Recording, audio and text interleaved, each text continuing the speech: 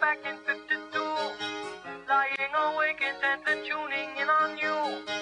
If I was young, it didn't stop you coming through.